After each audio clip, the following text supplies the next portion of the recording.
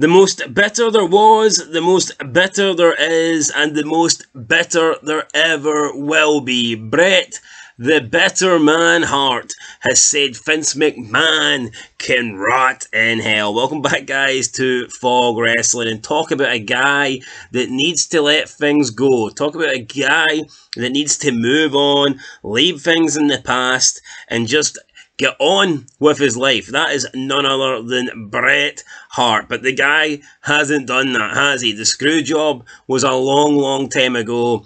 But for this guy, it may as well have been yesterday, just like Owen Hart may as well have been yesterday, just like Goldberg kicking him in the head may as well have been yesterday. I mean, Bret Hart, has he had a few bad things go against him in wrestling? Absolutely. But I've never seen someone complain, I've never seen someone hold a grudge and just be so bitter about everything like Bret Hart is. So, during a recent interview with Attitude Era podcast, WWE Hall of Famer Bret Hart was reflecting on the Montreal Screwjob from Survivor Series 1997. And this is what Bret Hart had to say. He says, quote, The Montreal Screwjob and all the lies and things they did to me, I have so much respect for what I did. If you were in my shoes after everything that I did for them, for them to do what they did to me, I always hear this crap like I heard Undertaker say. They had to do what they were going to do. There was no other option. Bullshit. I had another six weeks left on my contract. There were a million things that could have been done. It was a case of liars, cheaters, backstabbers, and guys that made that moment happen. Shawn, Triple H, Vince McMahon. I wish I knocked them all out. I have no regrets. It was the single greatest thing I ever did. All I'll say is this Jimmy Snuka came up to me about three years after the Montreal screw job. He came up to me and shook my hand and he goes, I want to shake the hand of the man that knocked out Vince McMahon. Everybody talked about doing it. He lied and screwed over so many guys. Everybody talked about doing it, but the one guy who did it was you. That's why he shook my hand. I think it says more about my real personality. I was never a hothead or a guy that acted out or went off and punched everybody that I wanted to. If you were in my shoes that day, Vince was calling my bluff.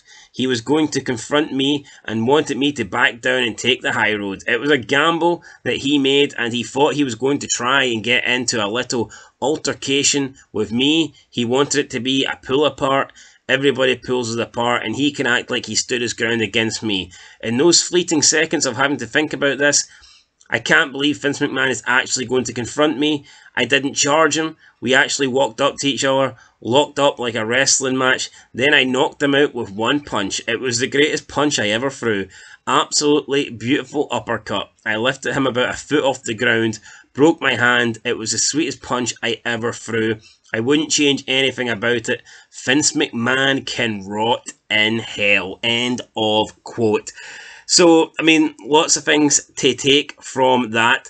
I mean, the, the first thing is, I mean, he, he says Undertaker is full of crap. He says bullshit, that there was nothing else that they could do. First of all, would Bret say that to Undertaker's face?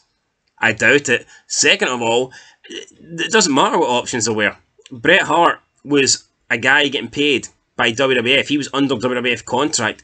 If McMahon wanted Bret to drop the belt, he should have dropped the belt. McMahon doesn't have to come up with another six different reasons for what they could do. It doesn't matter. Uh, he says there's a million things they could have done. It doesn't matter if there's a million things. The only thing that matters is what McMahon wants to do. And if McMahon wants to do one thing, then the other 999,000 are irrelevant at the end of the day. Bret was under WWF contract. He was getting paid by WWF. He should have done the right thing. He should have done what McMahon wanted him to do. But of course, he wouldn't do that because he didn't want to lose in front of his home crowd.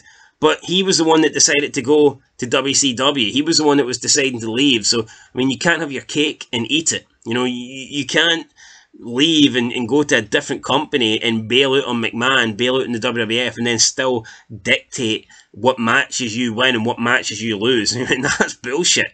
If if Bret Hart was staying and he was like, I'm, I'm refusing to job in my hometown, then that's one thing. But with Bret Hart leaving, Bret Hart going out the door, uh, he, he should have been willing to do whatever McMahon wanted him to do. And that obviously was lose the belt to Shawn Michaels. And then he speaks about how when he punched McMahon, he, he says that he broke his hand and that McMahon lifted about a foot off the ground. I mean, I'm going to have to disagree with that. I highly doubt McMahon lifted a foot off. If McMahon lifted a foot off the ground with the weight of McMahon, I mean, Bret Hart would have had to have punched him with some like superhuman force that it would have done serious damage to McMahon. So again, I mean, I don't think that's right. I don't recall Bret Hart ever breaking his hand either over this. Seems like Bret's just trying to make the punch seem a lot better than it actually was. I mean, who he could be telling the truth, but I doubt it. I doubt McMahon uh, flew off the ground by a foot. You know, I just I just don't see that happening.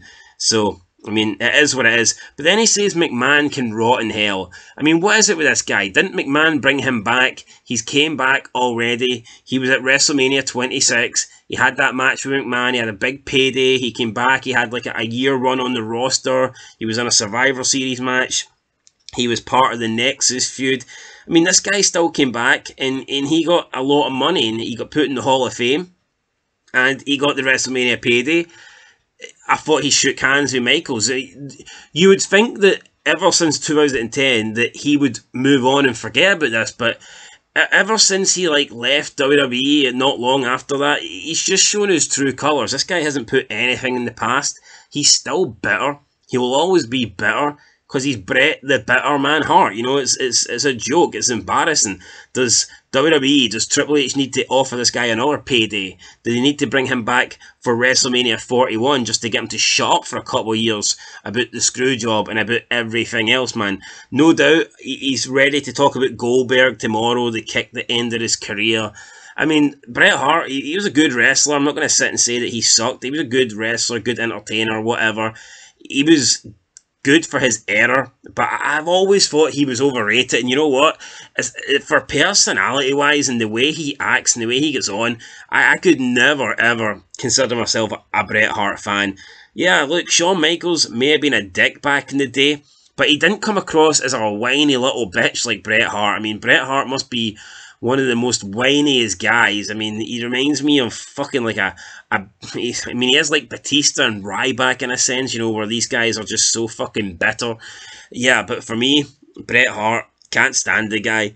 And it's crazy that he still wants McMahon to rot in hell. And originally I thought it was going to be over the Janelle Grant stuff, but it turns out it's because of the screw job and he still thinks McMahon should rot in hell. I mean, whatever, Bret. It happened almost 30 years ago. Fucking grow up. You made a career out of wrestling. You got paid well to wrestle. You, you got brought back. You supposedly put all this shit behind you. He's had a handshake. I mean, why can't he just be the bigger man? Or even equally as big as whatever, Michaels, Triple H, Vince, and just move on, you know? Crazy. Anyway, Bret Hart, I'm sure he'll be bashing somebody again next week. Goldberg, it's been a while since he talked about him. Probably going to talk about how Goldberg's the worst wrestler of all time, the most unsafe wrestler of all time. I mean, Bret talks about all these things they could have done. First of all, with the Goldberg situation, Bret didn't need to wrestle concussed. Okay, he continued to wrestle, and I'm sure that you know that affected him long term. He talks about the screw job. Had he just lost to Shawn Michaels, the screw job wouldn't have happened. And if anything, you know what? The screw job probably actually benefited the wrestling business, but it definitely benefited McMahon, and I don't see how it did any harm to Bret Hart because he should have went into WCW coming off the back of the screw job with a lot of momentum, a lot more momentum than he would have got if he just, you know, had a normal match where he lost to somebody. So for me, the screw job should have been turned into a positive, and all Bret Hart's done is absolutely bitch about it for years and years and decades and decades. So, as what it is, guys. Let us know what you think down below. But yeah, Bret Hart wants Vince McMahon to rot in hell still. 20 what? 27 years later. Embarrassing. Anyway, guys, till next time. Peace.